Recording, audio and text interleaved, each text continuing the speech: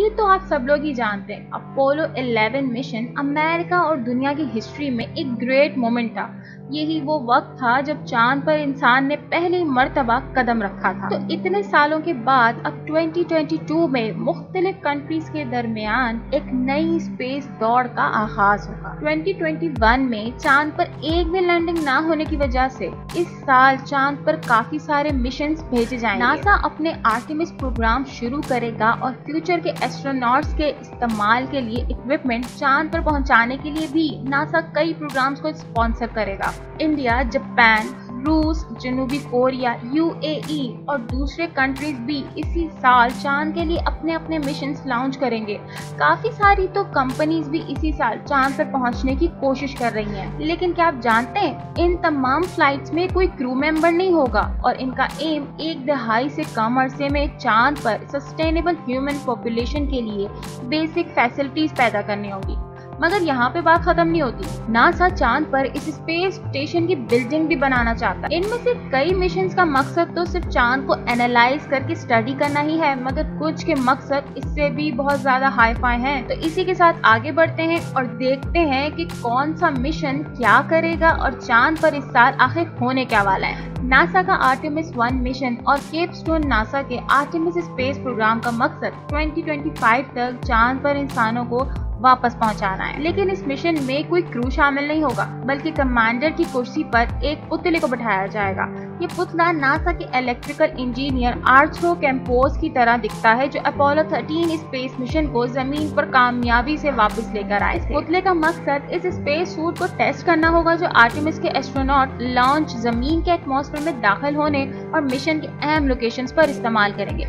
जब space craft को pressure, गर्मी और रगर का सामना हो जाता है। नासा का नया स्पेस लॉन्च सिस्टम दुनिया का ताकतवर तरीन रॉकेट की मिशन लॉन्च करेगा। और चाँद की गिर्द एक और स्पेस क्राफ्ट को चक्का लगवाएगा ताकि इस स्पेस क्राफ्ट की सिक्योरिटी का पता लगाया जा सके। नासा ओराइन स्पेस क्राफ्ट की ज़मीन से एटमॉस्फेयर में दाखिले के वक्त हीट शील्ड को ऑब्ज़र्व करेगा, क्योंकि इस दौरान स्पेस क्राफ्ट का टेम्परेचर 2760 डिग्री सेंटीग्रेड तक पहुँच सकता है। और इसी साल आर्टेमिस प्रोग्राम का एक और अहम हिस्सा भी अगले फ़ेज़ में दाखिल हो जाएगा। जो कि कैपस्टोन या फिर cellular autonomous positioning system technology operation and navigation experiment है। असल में ये आर्टिमिस प्रोग्राम के लिए रास्ता बताने के लिए लॉन्च किया जा रहा है। नासा इस माइक्रोवेव ओवन जितनी सैटेलाइट को मार्च 2022 में लॉन्च कर चुका है ताकि चाँद के गिर्द एक मदार को टेस्ट कर सके। ये सैटेलाइट चाँद के मदार में रहेगा और इसके साथ ही अपने एक्सेस पर घूमता रहेगा। और इसका मकसद फ्यूचर के मिशन में एस्ट्रोनॉट्स की सेफ्टी प्रोवाइड करना भी है। लेकिन अक्सर मकसद तो कुछ और ही है, और वो है मार्स इस टेस्ट से जो भी इंफॉर्मेशन हासिल होगी वो आर्टिमिस प्रोग्राम के लिए एक और अहम फ़ेज़ दी गेट वे के लिए ऑपरेशनल मॉडल्स को टेस्ट करने में मदद देगा। और अगर सब कुछ ठीक रहा तो 1972 में अपोलो 17 मिशन के बाद 2025 में आर्टिमिस 3 चाँद पर उतरने वाला पहला मिशन बन जाएगा। इस मिशन में चाँद पर पहली मरतबा किसी लेडी और किसी ब्लैक एस्ट्रोनॉट को उतारा जाएगा। चाँद पर इतना फोकस किया जाना असल में एक और भी बड़े मकसद की वजह है। चाँद पर रोबोटिक मिशन इस रोड मैप में पहला कदम है जो चाँद पर स्पेस स्टेशन को बनाने में मदद देगा और इसके ज़रिए आखिरकार मार्स पर इंसानों को उतारा जा सकेगा। और दूसरी तरफ़ काफ़ी सारी कंट्रीज़ और कंपनीज़ ने भी इसी साल चाँद पर अपनी नज़रें गाड़ के रखी हुई हैं। इनमें कुछ मिशन तो रिसर्च करेंगे और कुछ मिशन यहाँ पे इक्विपमेंट और सप्लाईज पहुँचाएँगे। दो साल पहले चाँद पर एक लैंडिंग में नाकामी के बाद इंडियन स्पेस रिसर्च ऑर्गेनाइजेशन अब चाँद पर एक और मिशन चंद्रयान थ्री उतारेगा। इस स्पेस क्राफ्ट में एक लूनर व्हीकल और एक लैंडर होगा और इसे भी 2022 में ही उतारा जाएगा। और इसी तरह जापान ने भी चाँद के लिए दो प्रोजेक्ट्स की प्लानिंग कर रखी है, जिसमें smart lander for investigated the moon या स्लिम नामी मशीन होगा, जो कि चाँद पर उतरने वाला एक एक्यूरेट टेक्निक का मुजाहरा करेगा और फेस रिकग्निशन वाली टेक्नोलॉजी की मदद से चाँद पर मौजूद गढ़ों को पहचानेगा। इसके साथ स्पेक्ट्रोस्कोपी मिशन नामी स्पेस टेलीस्कोप भी होगी। इनमें से एक दो पहियों वाला छोटा रोबोट जैक्सा ने बनाया है, जबकि जापानी स्पेस डिपार्टमेंट ने राशिद नामी दूसरा रोबोट भी चाँद पर उतारा जाएगा, जो कि यूएई ने बनाया है। इस रोबोट के चार पहिए होंगे और ये चाँद की मट्टी को एनालाइज करेगा। जबकि रशिया 2022 में चाँद पर लूना 25 नामी मिशन उतारेगा। ये 45 साल में चाँद पर उतरने वाला रूस का पहला मिशन होगा और ये चाँद के साउथ पोल पर उतरने वाला पहला मिशन होगा। ये वो इलाका है जहाँ नासा बाद में क्रू के साथ मिशन उतारने के लिए प्लानिंग कर रहा है।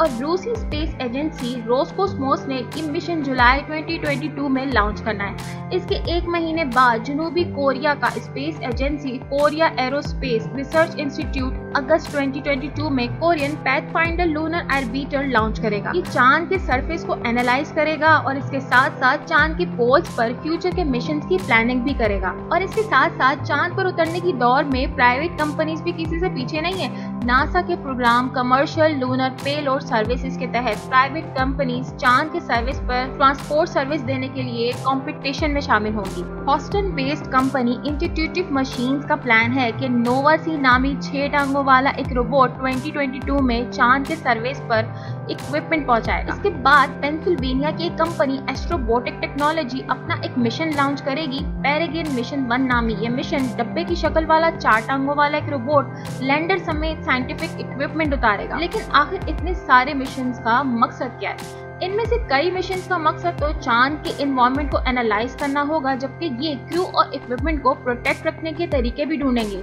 जिन्हें चाँद पर मट्टी और सूरज से आने वाली तेज मैग्नेटिक वेव से नुकसान पहुँच सकता है। ये मिशन साइंटिस्ट को प्रोटोटाइप डिवाइस को टेस्ट और एक्सपेरिमेंट करने की अपॉर्चुनिटी देंगे, जिनके ज़रिए वो पानी जैसे रिसोर्सेज चाँद पर हासिल कर सके। दरअसल साइंटिस्ट चाहते हैं कि ये मशीन इंसानों को चाँद पर भेजे जाने से पहले ही काम कर रही हो, क्योंकि क्रू को वहाँ इन मशीन से मिलने वाली रिसोर्सेज पर जो रिलाई करना होगा। और आखिरकार ये सप्लाई फ्यूचर में मार्स पर मशीन भेजने के लिए फ्यूल भी प्रोवाइड कर सकेंगे चाँद इन टेक्नोलॉजीज़ के लिए टेस्टिंग ग्राउंड भी होगा, जिन्हें हम एक दिन रेड प्लैनेट पर यूज़ कर सकेंगे।